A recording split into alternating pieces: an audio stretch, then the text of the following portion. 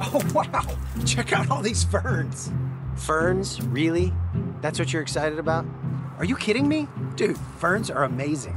Maybe you just haven't looked close enough. Okay. What am I looking for?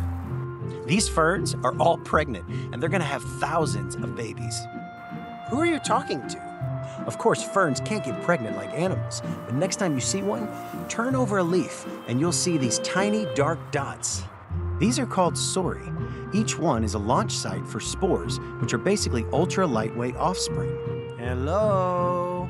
Inside every sori are tiny capsules called sporangia, and when those tiny capsules dry, the tension builds and they literally snap open, flinging spores into the air. A single fern can release thousands to millions of spores, and almost all of them will fail. But a plant only needs a single success to carry on the next generation. Okay, that was weird, but actually pretty cool. No seeds, no flowers, no pollinators. That's a pretty amazing way to survive. My work here is done. Hello? Seriously, who are you talking to?